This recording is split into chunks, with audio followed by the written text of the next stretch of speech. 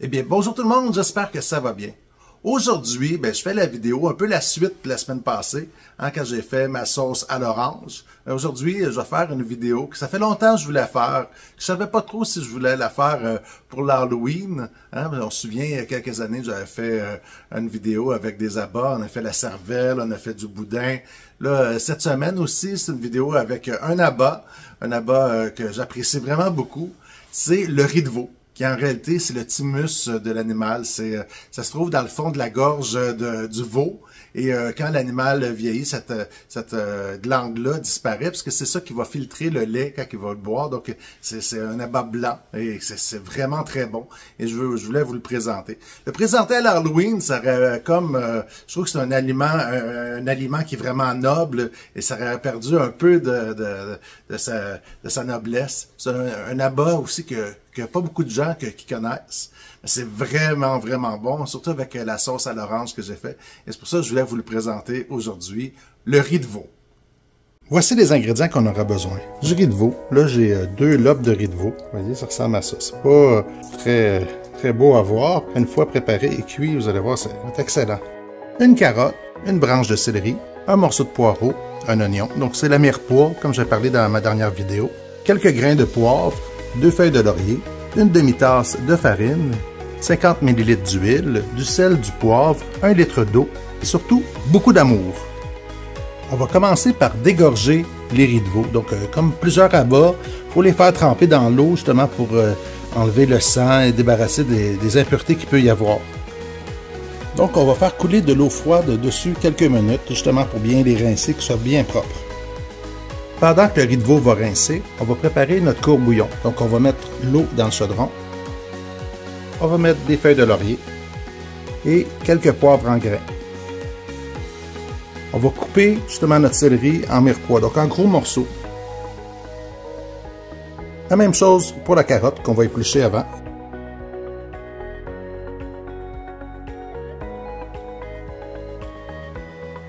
On va mettre du verre de poireau. Donc, on va le couper et on va le laver.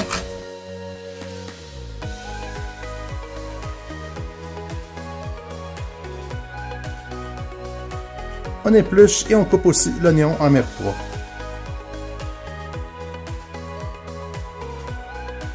Et on met à chauffer. Ça va devenir notre courbouillon. C'est dans ça qu'on va pouvoir pocher nos riz de veau. On peut laisser cuire pendant 5 minutes. Après 5 minutes de trempage, ben, les riz de veau sont bien dégorgés, donc on peut les retirer de l'eau. On va ensuite les mettre dans le courbouillon et on va les laisser pocher pendant une dizaine de minutes. On s'assure que toutes les parties du riz de veau soient submergées du bouillon et ben, on le laisse cuire, on peut même le faire bouillir pendant 10 minutes. Après une dizaine de minutes, on peut arrêter la cuisson et retirer du feu. On pourrait les refroidir à l'eau froide, mais moi je vais les laisser refroidir au frigo hein, pour qu'ils conservent la saveur du courbouillon que je les ai fait cuire dedans.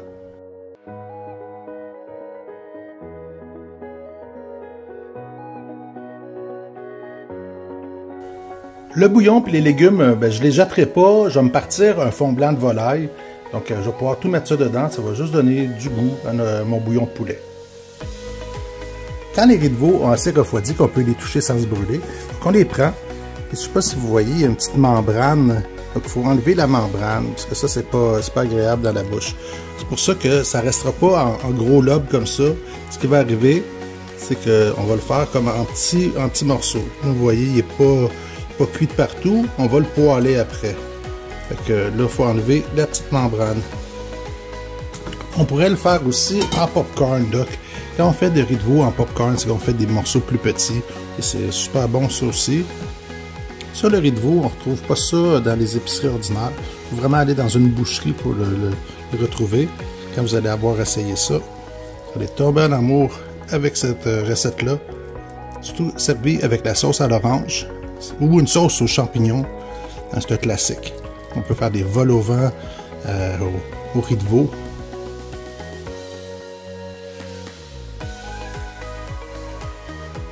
Peut ensuite les assaisonner. Donc, je mets un peu de sel, un peu de poivre. Et après ça, on va prendre une assiette, on va mettre notre farine dedans.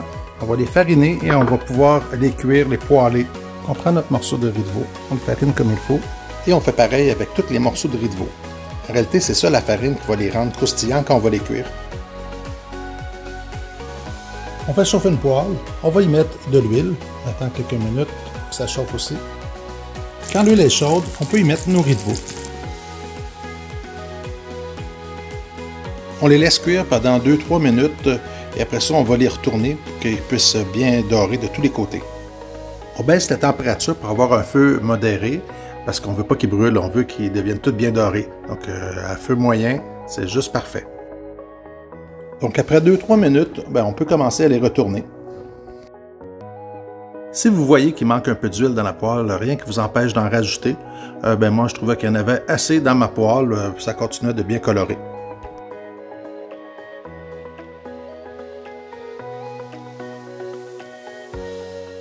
On les retourne de temps en temps pendant la cuisson pour qu'ils puissent devenir toutes dorées, toutes croustillants. Là, j'ai mis le feu à moyen parce qu'il y avait des riz qui n'étaient pas tout à fait cuits et euh, je savais qu'en cuisant un petit peu plus longuement, tout va être bien cuit, tout va être bien tendre après. Quand sont toutes bien colorées, ben, on peut arrêter la cuisson. C'est prêt. On peut ensuite les dresser dans une belle assiette.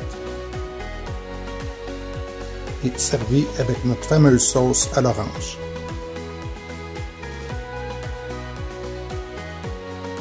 On peut aussi en faire des canapés en les mettant en petites bouchées dans une cuillère avec euh, la sauce. Ou servir en vol au vent avec une sauce aux champignons. Que ça soit préparé de toutes les façons, les riz de veau, c'est juste trop bon. Si vous avez aimé ma vidéo, ben, faites comme le chef Gros Lot et mettez le pouce dans les airs. Abonnez-vous à ma chaîne si ce n'est pas déjà fait activez la petite cloche pour avoir toutes les notifications. Partagez la vidéo avec tous vos contacts et vos amis et nous, on se revoit très bientôt pour une prochaine recette, une prochaine vidéo.